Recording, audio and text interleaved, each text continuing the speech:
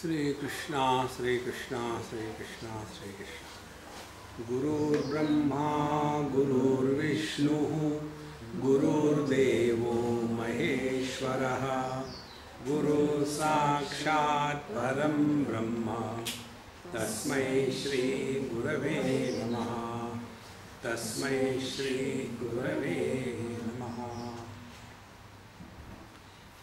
If my glasses are yellow in color and I am looking through these glasses, I will see that everybody is suffering from jaundice. Because the glasses through which I am seeing they are colored. So also, when our mind is disturbed, everything is horrible. And when our mind is at peace, everything is beautiful. See? Therefore, the ultimate vision depends on the quality that our mind is able to maintain, and further, what is the foundation on which this mind can remain undisturbed, equanimous under all conditions. So there are various approaches. First approach is when we are dealing with the world.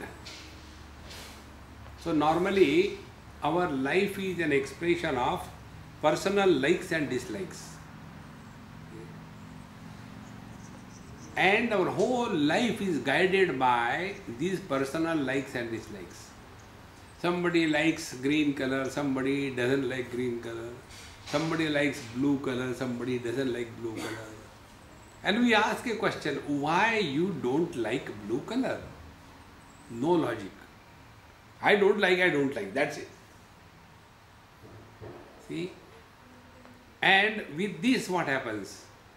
With every interaction with the world, we go on strengthening our personal likes and dislikes. And as our age grows, these likes and dislikes become so strong that if something happens according to our choice, we are happy. If it doesn't happen, we are miserable. And thus we are constantly buffeted, tossed by the waves of likes and dislikes which are carrying us in our life. So, for that, the way of maintaining the equanimity is very simple. And that way is called as love everyone. Now, what is the meaning of love everyone? This sentence we have heard million times. I love my dog. I love my wife. So first dog and then wife. In the same sequence. So what do we mean by love? So love has four expressions. Because we relate with four different categories. First, love for the elders who are elder than us.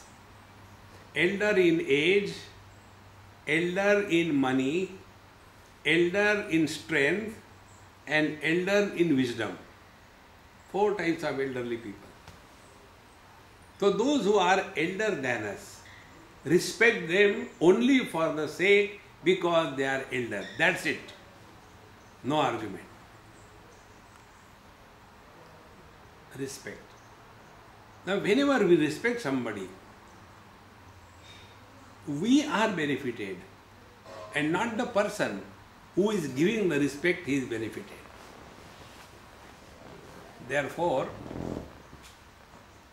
he is cutting my head. Because the moment I do like this, my thread head goes away. So, we have to first recognize this principle. When we respect, we are benefited. So, for our own sake, we must respect everyone in this world. Find out an excuse. Why should I respect somebody? See? Now, this girl, she is younger than me. So, how can I respect her? Find out an excuse. In what way she is superior to me?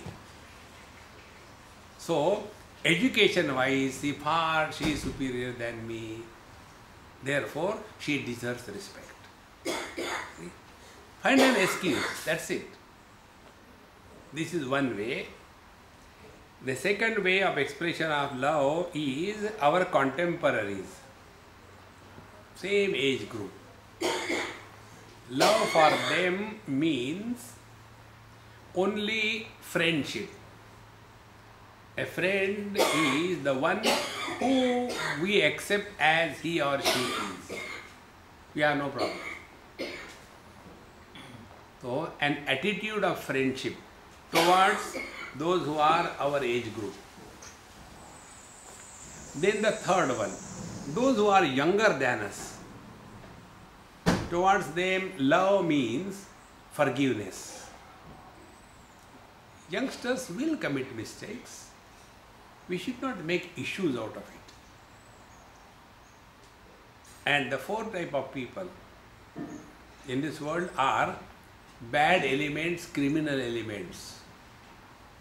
How can we love them? So, Bhagavad tells, towards them our attitude should be an attitude of indifference.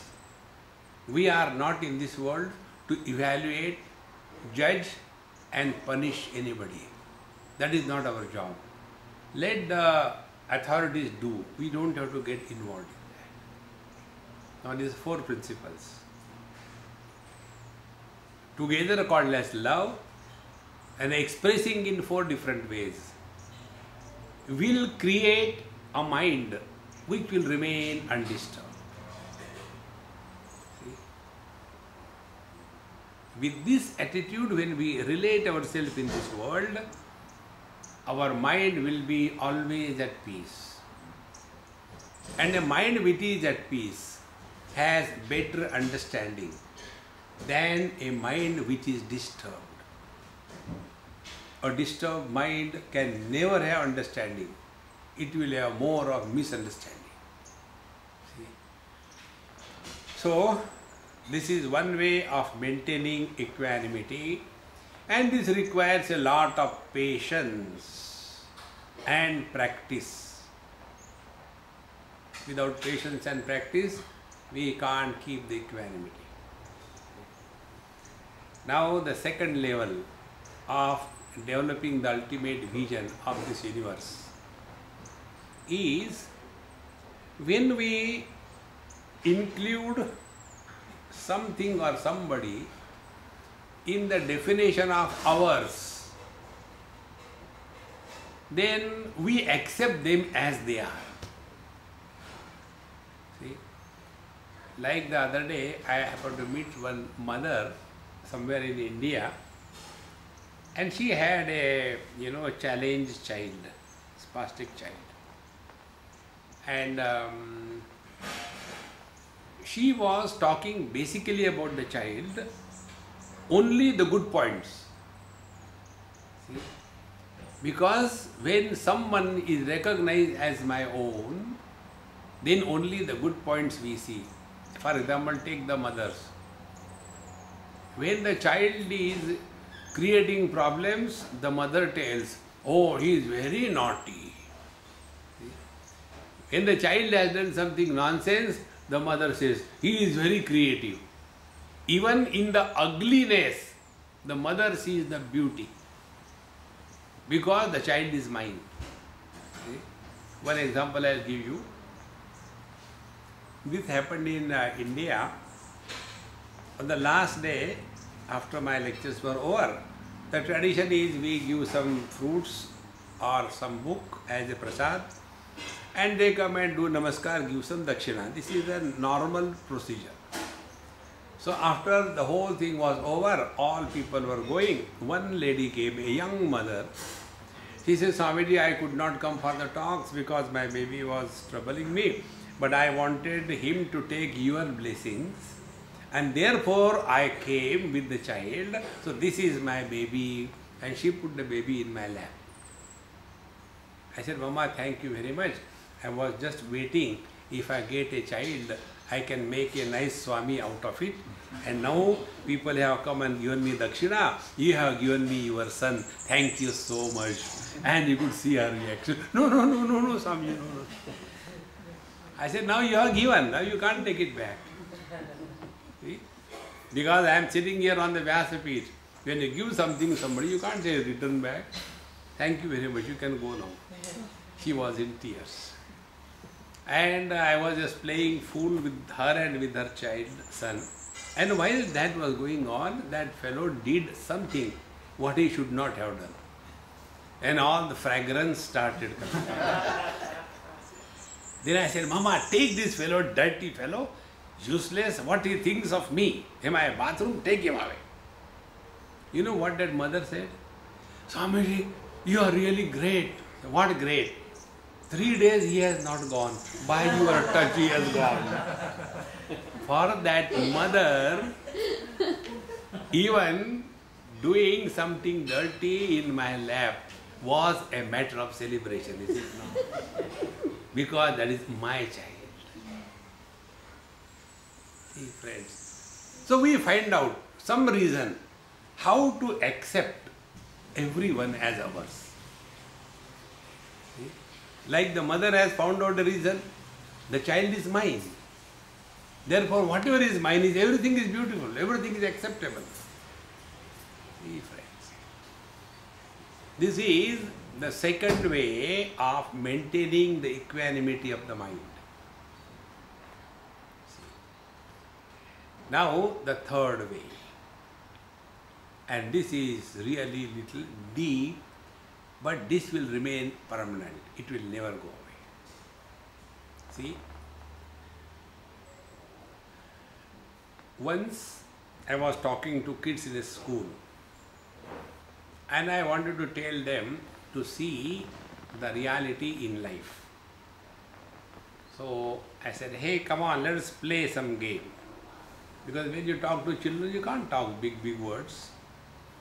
I said, okay, let us say, how can say, uh, what are the differences among all of us? Raise your hands, so many hands. You tell. So that child told. Some are girls, some are boys. Differences. Then, second, yes, you. Some are tall, some are short. Differences. You, oh, some are fat, some are lean. Differences. Easy to see differences. And after half a dozen were over, then I said, okay, now what is a common factor among all of us? So they started looking at each other. Differences easy to find out. And there was one child eating the nails and totally indifferent to everything. I said, hey, you tell, what is the common factor? He got up. We are all suffering because of you. See? In the same manner, this vision we have to develop. What is the common factor in all of us? Normally, we talk differences. Let us focus our attention on the common denominator. See, friends, it is so simple. And to see that common factor, we have to start inquiry. What are the differences? Differences are valid as long as we take ourselves to be body. When I take myself to be body, then I am old. And I take this girl as a body, then not so old. Differences.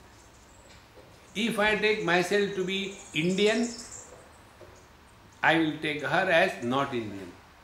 Differences. If I take myself to be wise, I will take her as otherwise. Differences.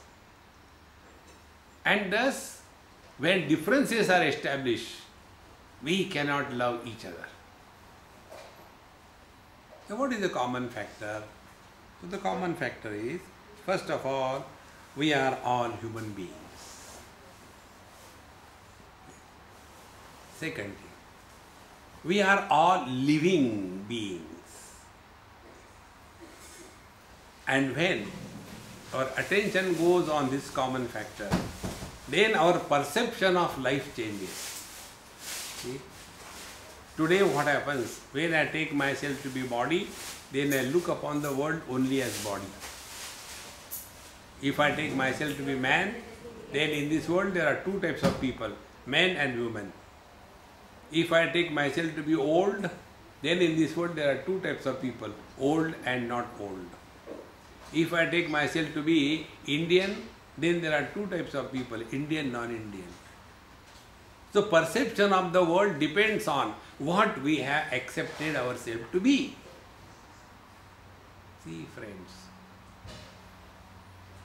So we have to find out some factor which will be not able to create differences. So first we discard the body identification. So what is the body? Body has a form. Forms are many. The formless is one. See, we are all forms. We are many. The space which is supporting all the forms is one. There are not many spaces. Sounds are many, silence is one. Without the silence, sounds have no meaning. Without the form, shapeless space, the forms and shapes have no existence. So, what is the reality? Behind all the sounds, there is the silence. Behind all the forms, there is a formless space. See, friends. When we come to this space, there are two aspects of space. One aspect of the space is it gives accommodation and shape. Second aspect is space has inherent quality called as sound. Shabda. So sound or the Shabda is responsible for names and the space is responsible for the shapes. So two things, name and form, both of them are supported by the space and therefore if we take our position at the level of space, now we start playing. Will the space ever have any biasness, likes and dislikes for any shape? Whether it is a square or it is round or it is triangular or it is hexagonal, space has no problem. Similarly, the sounds. Whether it is a melody or it is a noise, space supports all the sounds. The rule is the support is stronger and uninfluenced by the supported. Like the chair is a support and I am supported by the chair. So the chair is not influenced by me. But if it is the other way around, then I will be influenced.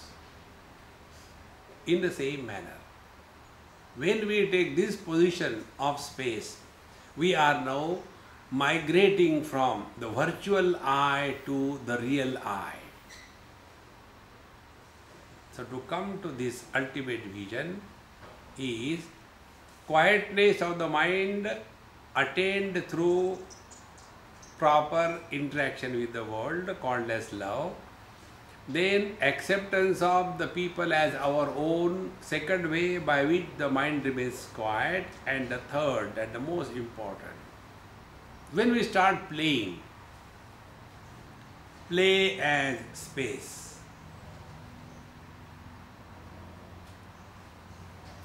When we start playing as space,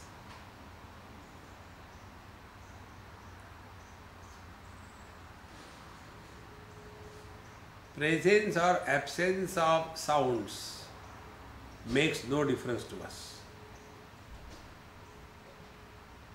Therefore, we remain undisturbed. Presence or absence of shapes makes no difference to us.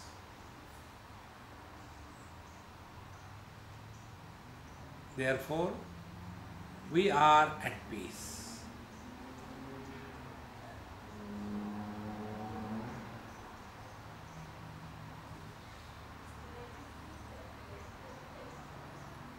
And as we start remaining at peace effortlessly,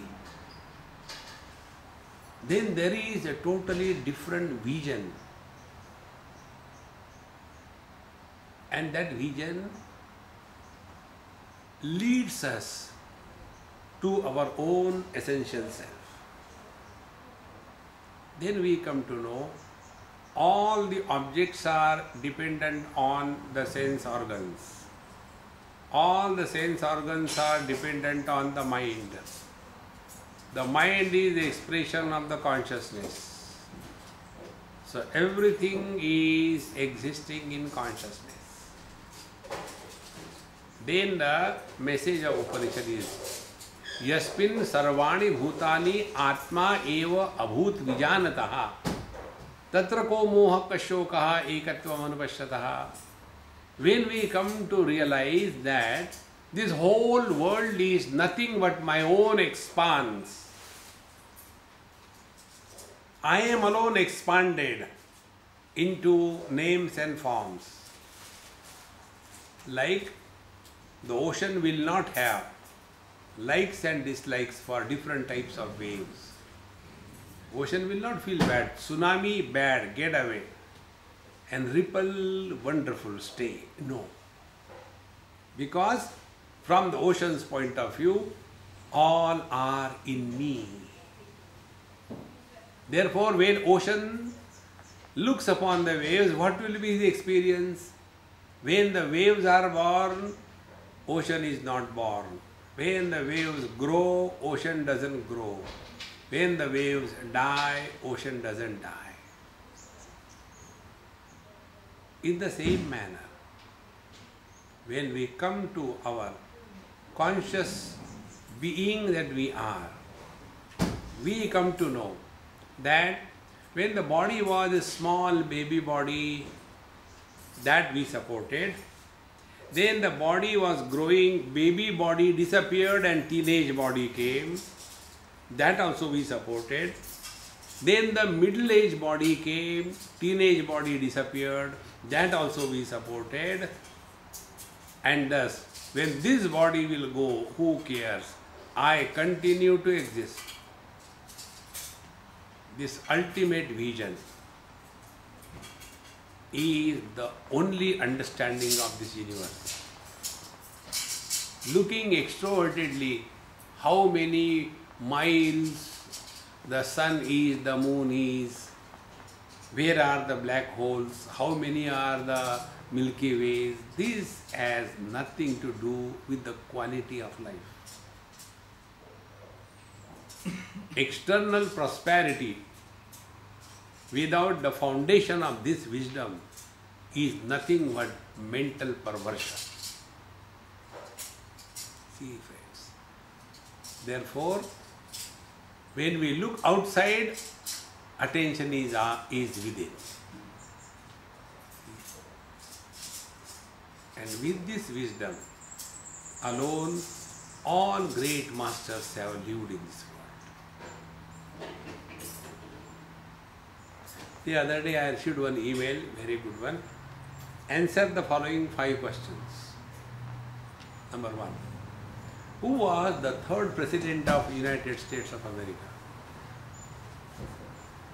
Second question. What is the um, speed with which the Saturn is moving around the sun? Third question.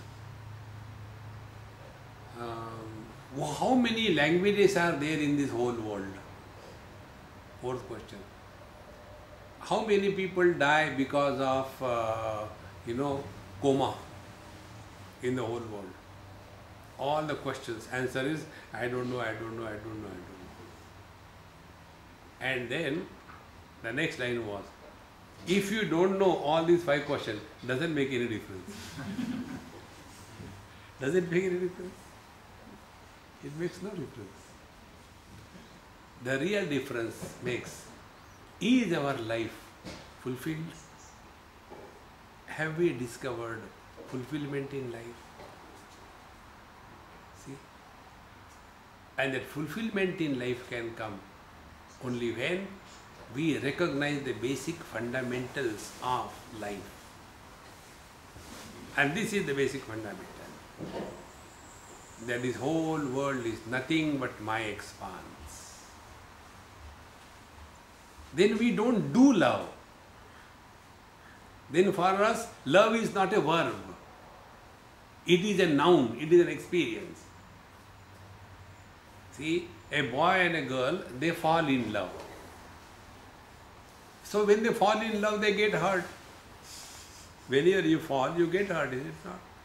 And the net result is they separate afterwards. I think we have made a mistake. And then they make another mistake. So they go on falling in love. They never rise in love. Because for them, love is an action. See? But if you see the same love, the mother has for the child. The mother does not love the child as a verb, as an action, but the mother has love for the child. She does not love the child, but has love for the child. In the same manner, all the great masters in this world, they do not love the world. They have love. As we have love for our own self. See? And this is possible only when we take up this path. Live in the outer world, but take care of your mind. That is the most valuable instrument in the world. If we look within, how much time and energy we have spent to take care of our mind.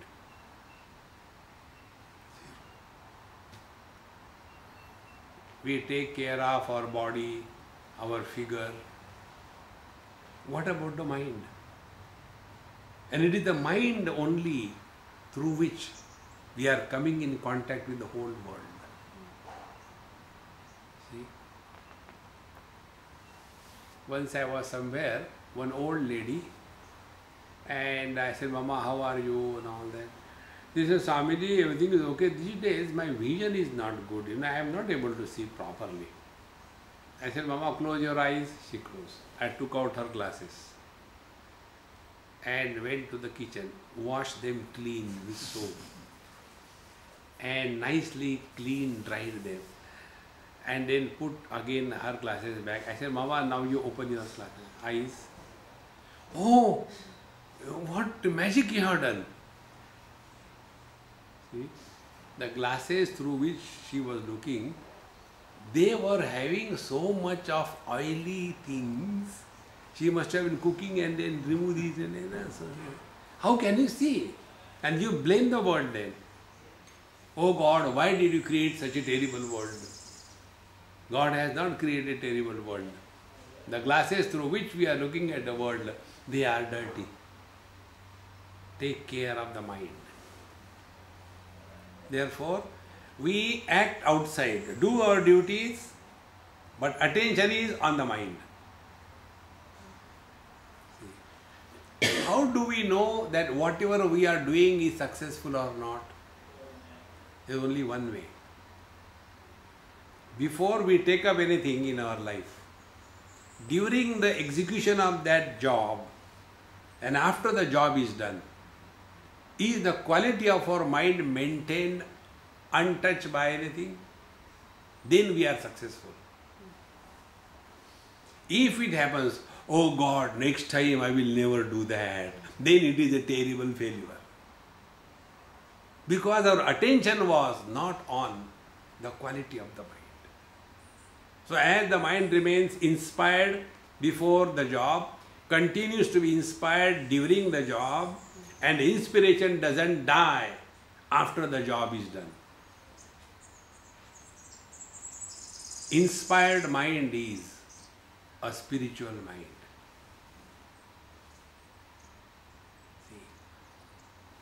Therefore, yoginaha karma kurvanti sangam tyaktva atma shuddhaye. Function in this world outside according to the requirement, but attention should be on the quality of our mind. How is the quality of our mind?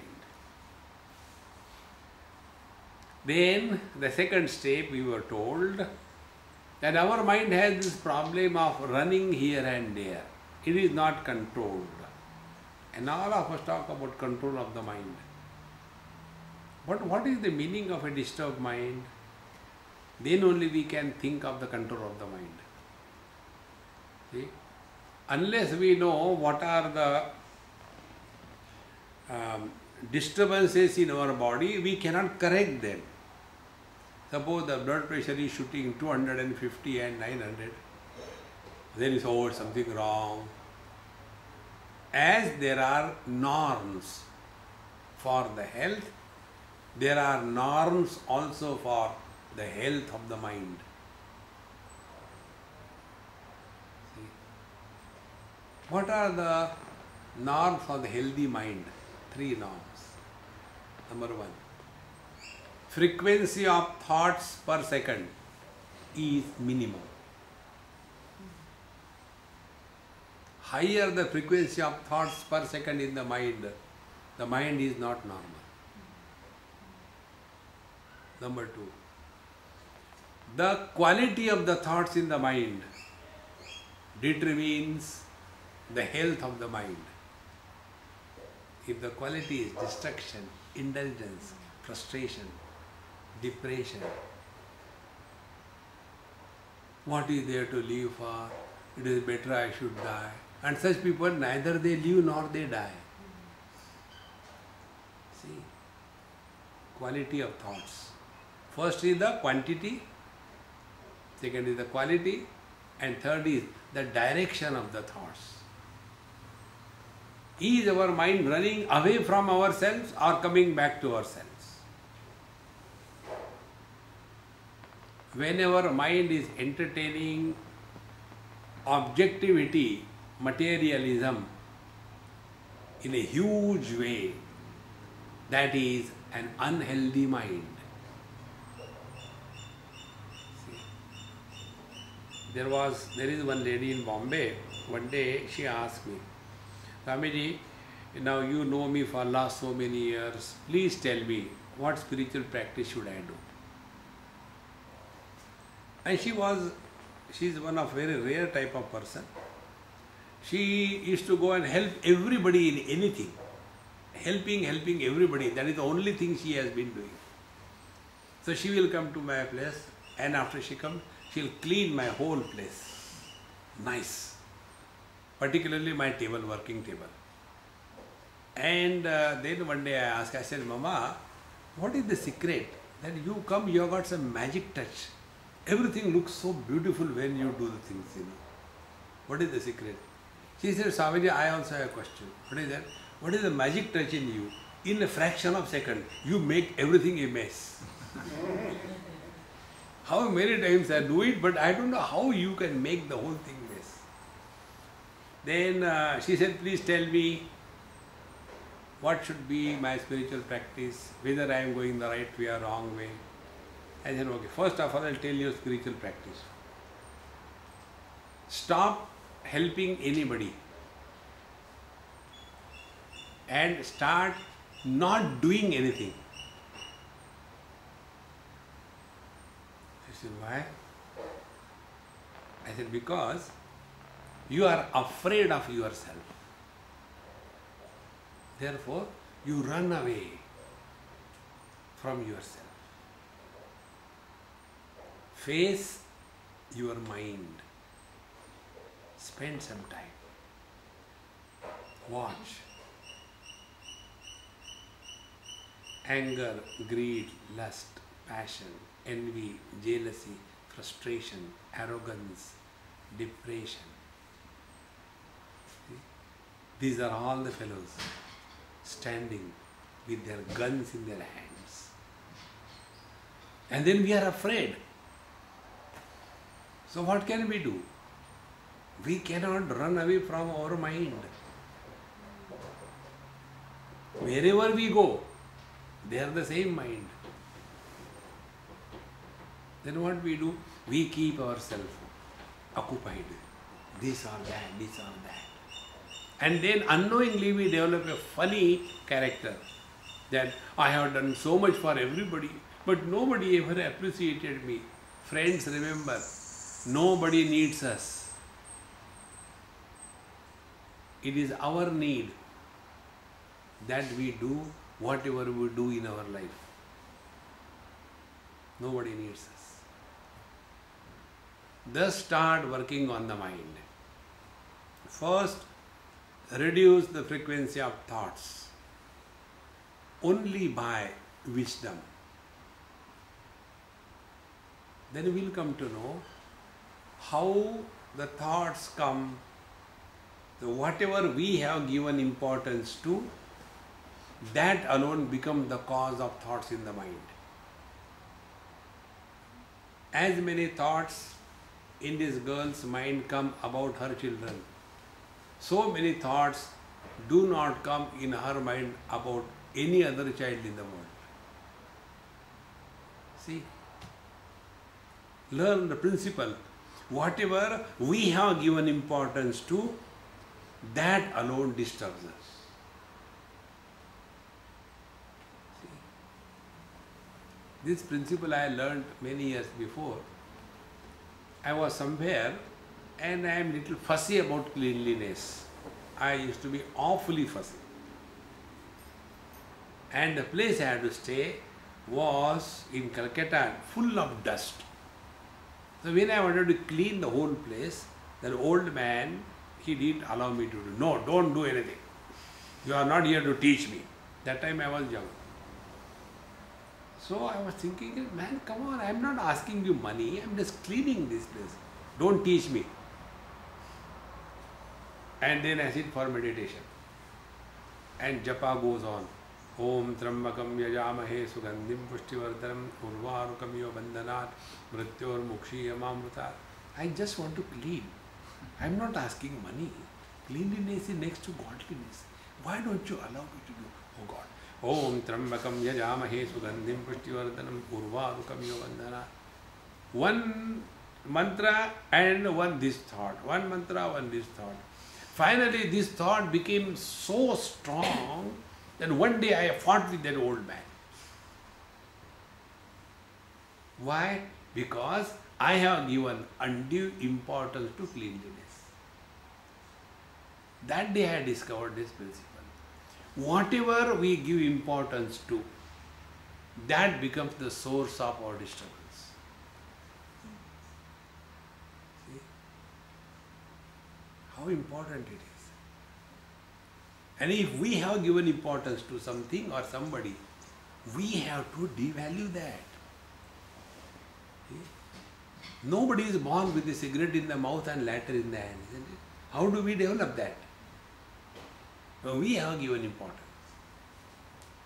We look at the billboards and there one useless fellow sitting on a motorcycle and one equally useless girl is sitting behind and there is a cigarette in his mouth and he she puts the hand around and lights the cigarette and the young man start thinking I am that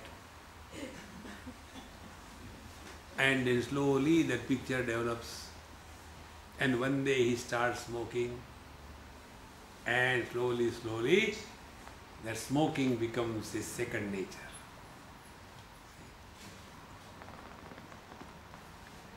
One old man one day in Delhi told me, he was, he must be about 80. When I went to see him, he said, Swamiji, good news. I said, old man, what good news at this age? Are you getting again married or what? Then no, Swamiji, no marriage. Then I stopped smoking. So what? You don't know. Last 60 years I have been smoking. But now I stopped smoking. The real joy is not in indulgence. The real joy is discovering the freedom from the bondage of these worldly objects. Same thing inside. Whenever we are disturbed, just look within, you will come to know that something we have given undue importance. If we have given undue importance, select, shift, delete. Don't maintain. Just drop it. See? Then we are working on the mind. Then we are working toward the health of the mind. Such a mind will have in due time lesser number of thoughts then the quality of the thoughts will not be extrovertedness, but the mind will discover joy from within through understanding. See? Like in the morning, I take a cup of tea. Wherever there is a possibility, I take a cup of tea. So morning I get up, I finish my bath, everything, and first thing go to the kitchen, prepare a nice hot water put the deep deep tea, have proper concentration of the liquid, and then meet one or two biscuits and enjoy that cup of tea. And after I get that cup of tea, ah, now I am very good, perfect. Then I can sit for an hour or two. If I don't get a cup of tea, they should have kept a cup of tea here. It's not, I only want hot water. Tea bags I can bring with me, but hot water I can. Oh, oh, oh. Because I have given importance to. Then I start thinking, happiness comes from tea. Because when I take a cup of tea, I am happy. Oh, good. But then everybody is not happy by taking a cup of tea. So where from the happiness comes? Then I come to know any importance, any desire is a disturbance in the mind. When the desire is fulfilled, there is quietness in the mind. Desire free mind is happiness.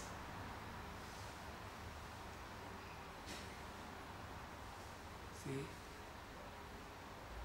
And when you discover this happiness, desire free experience, a happy person is never destructive.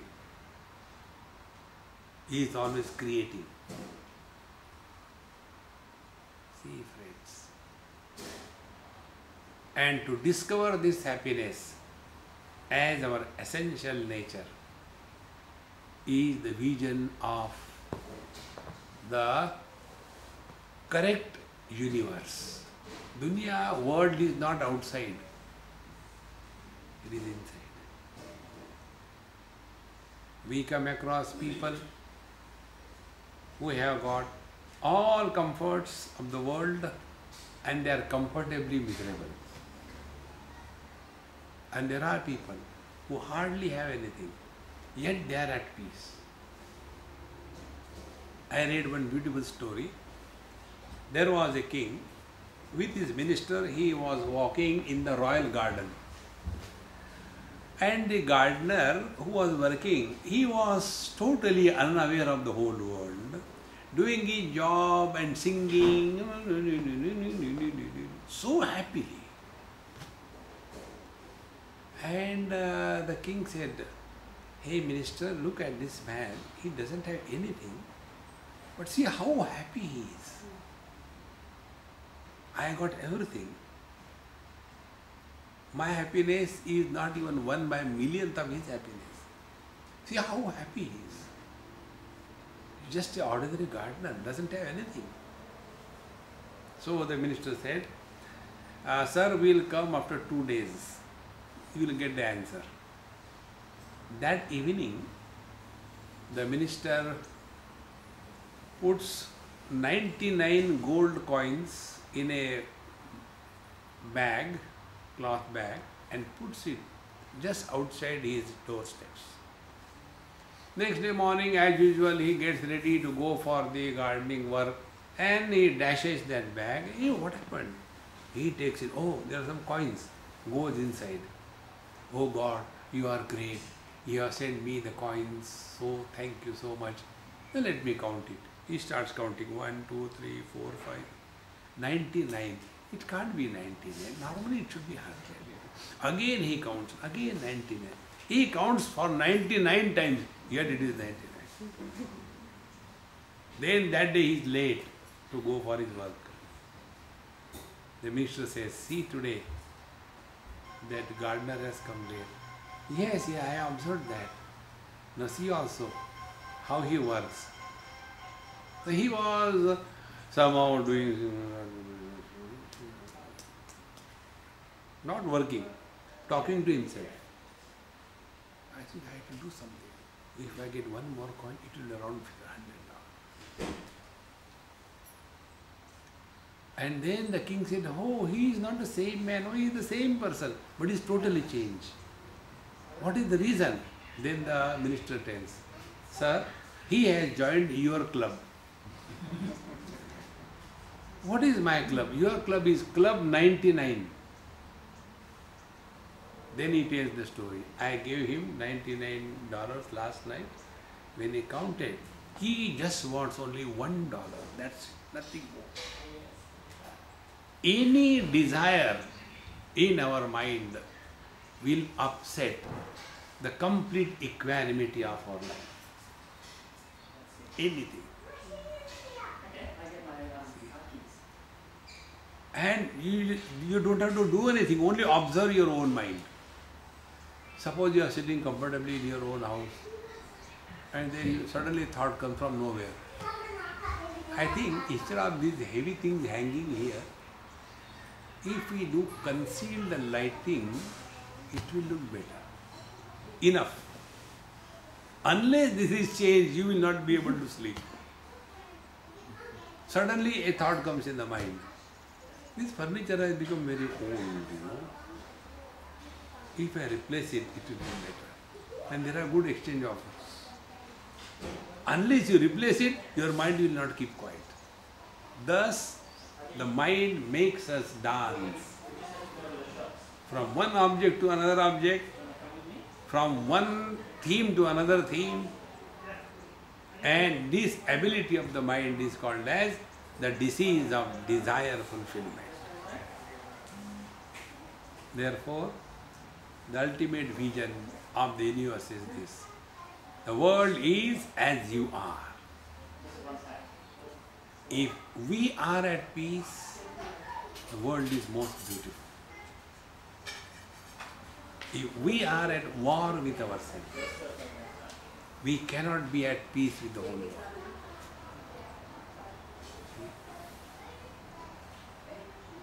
Therefore, friends, this we have to discover.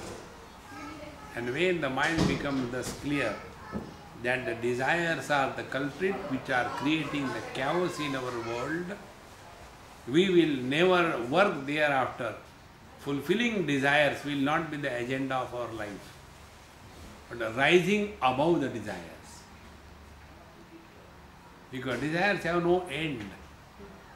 This is required, that is required, it should be like that, it should be like no end to it.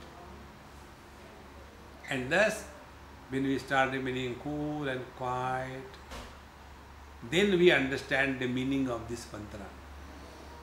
यस्मिन् सर्वाणि भूतानि आत्मनि एव अनुपश्यति सर्वभूतस्थमात्मानं न ततो बुजुगुप्सते then we are able to recognize that it is the same principle which is pulsating in and through the total creation. See, like for example, the pain. Pain is a common factor for everyone. Vision. Vision is common thing for all the eyes. See? Similarly, all the physiological functions, they are not separate from each other. They are same.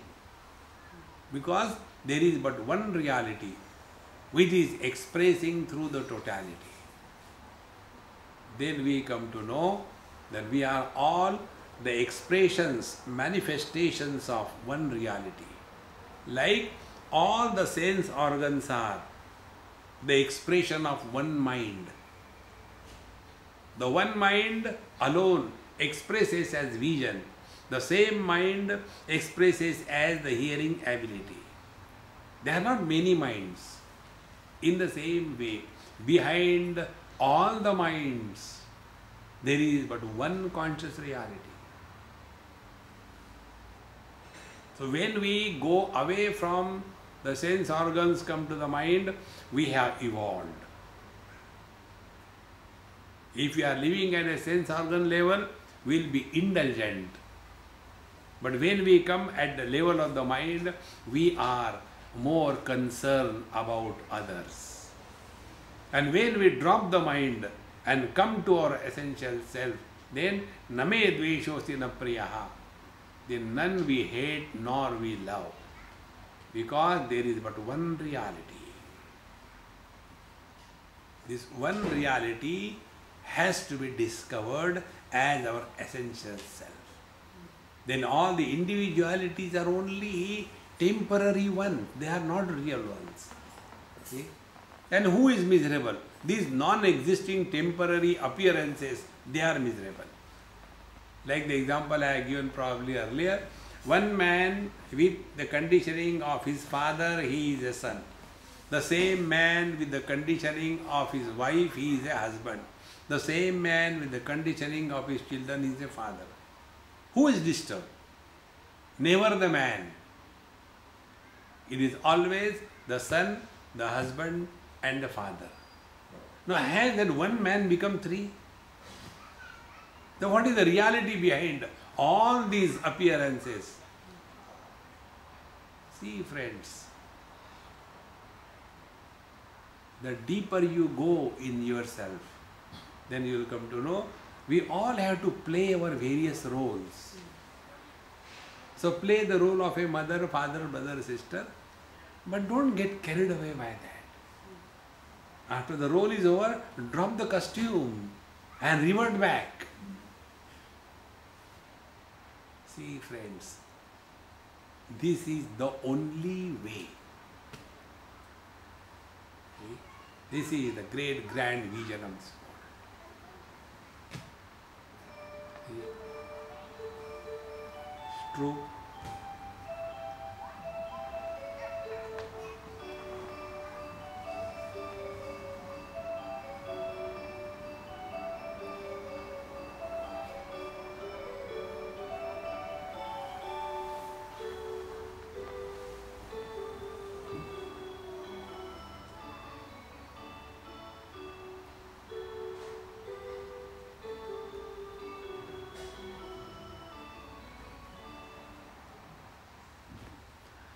ॐ पूर्णमदः पूर्णमिदं पूर्णात् पूर्णमुदच्यते पूर्णस्य पूर्णमादाय पूर्णमेवावशिष्यते।